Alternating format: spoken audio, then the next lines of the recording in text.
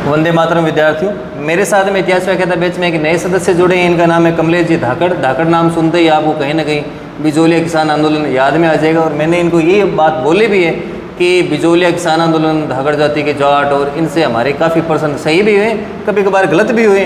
तो आप रहे, चित्तौड़गढ़ में निम्बा हेडा के रहने वाले हैं और यहाँ सूरतगढ़ आप आए हैं, व्याख्याता इतिहास बनने। तो मैं आपको ये पहले बता दूँ, क्योंकि इस वीडियो को बहुत से लोग देखेंगे।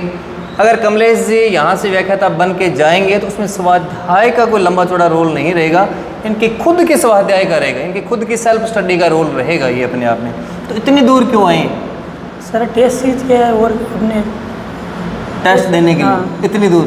मैंने ऑनलाइन ले रखा था पर ऑनलाइन से टाइम से हाँ एक चीज़ ये भी बता दी इन्होंने बहुत से बच्चों के माइंड में ये रहता है कि ऑनलाइन बेस्ट है ऑफलाइन बेस्ट है। बेस्ट ऑफलाइन है। अक्सर मैं ये कहता हूँ कि अगर आप सही मूल्यांकन करना चाहते हैं, संभव हो तो आप ऑफलाइन में ही आएँ। अगर नहीं हो तो फिर आप ऑनलाइन ज्वाइन कर सकते हैं। वेलकम आपका।